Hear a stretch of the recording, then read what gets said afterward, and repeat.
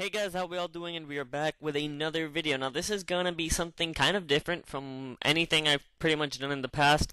I'm basically gonna be kind of telling you guys a story, and it's basically something that I've wanted to do for a while now. You know, instead of just uh, making strictly gameplay videos where I just talk about the gameplay, uh, you know, I wanted to do more videos like these, story times, or just my thoughts on general things. You know, make it a bit more uh, videos that are a bit more personal, I guess, is the, the correct word to use. So today, I thought I would tell you the story about how a couple weeks back, someone actually broke into our house. Now, it's it wasn't as scary as it probably sounds, but it was still pretty scary, like being in the whole situation. So, I guess to start off the story, I should explain a bit the layout of my house. Uh, my house has, is a two-story house, except we live on the bottom floor, and my mom's cousin lives on the top floor. There's a patio area in the background, and the two houses don't actually connect through the inside. There's a there's a stair in the back patio where they connect. uh, now, connected to the patio is the garage, which is on the side of the house, which leads to the front door.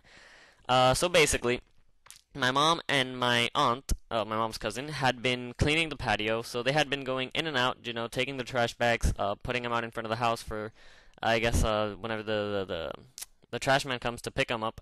So basically, we have also, uh, important to mention, two dogs. And if we leave the door open, they're wanderers. So they just they just walk out, and then you know, obviously, we have to keep a close eye on them because we don't want to lose them. So basically, I'm working on an English project. Uh, they've been cleaning out the patio, and uh, all of a sudden, my aunt screams, "Close the door!" like super loud, and my mom freaks out, and she thinks it's the dogs that are escaping, right? The the front door, they forgot to close it after they were done cleaning. And anyway, she takes the keys and runs out of the house. And then all of a sudden, once my mom's already out there, she hears my cousin scream, and now he's in here. Like it's it wasn't then that's when my mom realized like there's it, it's not the door like there's someone broke into our house so she yells at me like close the doors uh, i close the back door which is the one leading to the patio the patio and then uh, i go to the front door to let my mom in, and then we log ourselves basically in that balcony slash entrance area. Because since the back door was open, we weren't sure if the guy had actually gone into our house.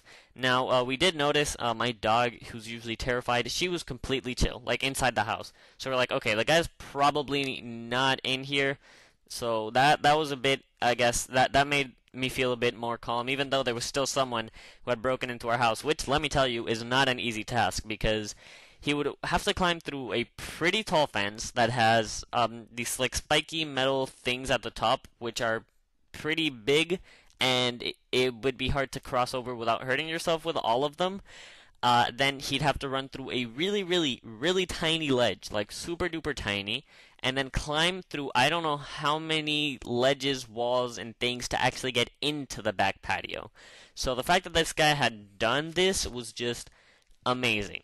Basically, so now we're stuck in our house, and you know, there's a lot of things running through our mind. We we called the cops. She called the cops, but you know, we're kind of scared because we don't know if we should go outside. Um, because you know, he he might be dangerous. We don't know anything of that yet. But we're also scared. You know, is is because if, if this guy actually went into the patio, like there's he's running away from something, and could he, I guess, jump off? And another thing to mention to get up to our roof, which is now where the guy was at this point, uh, you have to climb up through a ladder that's uh, kind of connected to the patio slash stairs leading up to the second floor.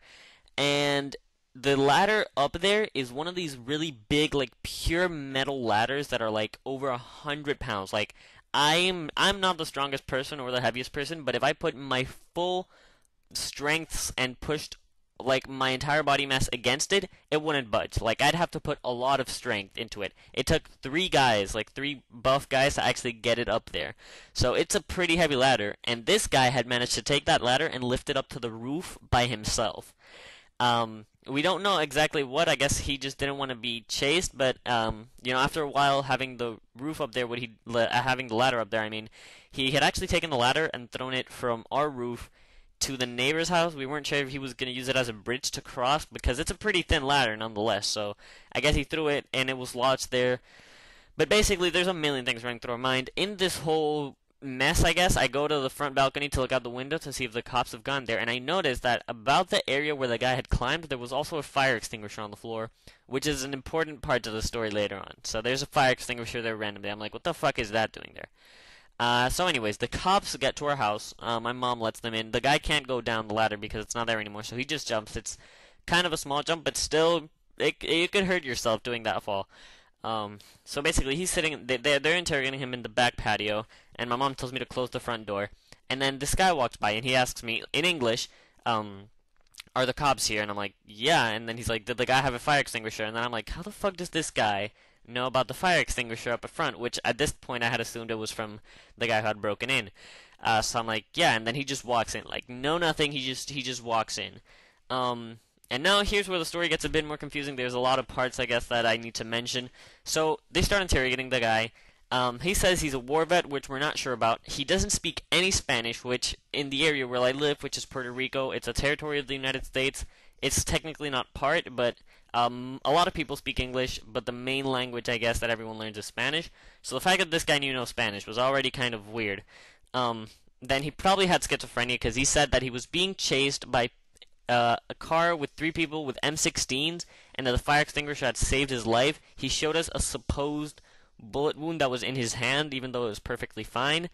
Um, so we just we didn't know what was going on. Um, the guy who actually went in, I later found out was apparently someone who works close to my house in a place called the 12 Step Program, which is basically a place where they help homeless people and drug addicts, etc., etc. And apparently, the guy who broke in had gone into there, uh, asked for a meal, and while the guy was cooking, uh, the, the the guy who broke in just freaked out, took the fire extinguisher, and left. And then he went after to get the fire extinguisher back and the guy back. So he was like, "Don't worry, guys. He's not dangerous. Don't hurt him. Um, all that stuff." Um, so then, after a bit of talking, I guess they, they the cops took the the guy who broke into the front door uh, to the entrance, kind of the front street of my house, and you know they were talking with us. They were talking with the with the guy who broke in, and they were like, you know, we could we could arrest him technically because it was breaking and entering, but chances are with his mental state, um, there's they they're just gonna let him go, and then all you do is you'd have to go to court, and it would just be a huge, huge, huge, huge mess. So you know, it's probably best to let him go free. They called an ambulance to help him because he was kind of he had some bruises from I guess all the jumping and stuff, uh, but he didn't want to go, and you can't take someone unless they're willing to go. Um, and then another interesting thing uh, at this point, uh, the guy uh, had mentioned that uh, he, he was from Louisiana and that he had his dad's phone number, so we gave him one of our phones and we call him up and. His dad tells us to take him to the U.S. consulate in Puerto Rico. Now, keep in mind that since Puerto Rico is a territory of the United States, there's not actually a consulate. We are part of the United States, so um, there we kind of understood the root of the dad didn't want to do anything to do with the kid. He didn't want to help him out or anything. Pretty much at this point, so we were kind of like, Jesus Christ, it's a lost cause. Um, so you know, ultimately they did let the guy go. Uh, we couldn't do anything. Apparently uh, a couple other people have heard the same story, you know, that he was being chased by people with M16s.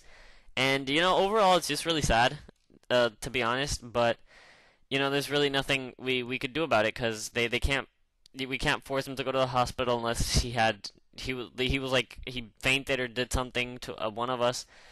Uh, so yeah, it, it's overall a sad story. It was pretty scary, even though I, you know, after a while we were like, I guess pretty safe. The cops got there fairly quick. It was it was still kind of scary knowing that someone had actually gone into your house. You know, you, you kind of it, it doesn't sound as scary as it probably was to actually have been in the house as it all uh, happened. But anyways, uh, this game's coming to a close. I hope you guys enjoyed the video. I'm hoping to do more stories like these if you guys enjoy them. Um, and if I even have any more stories to tell. So, uh, thank you guys for watching. I hope that you enjoyed. I'm pretty sure I win this game. She concedes right after this. Yep, she does.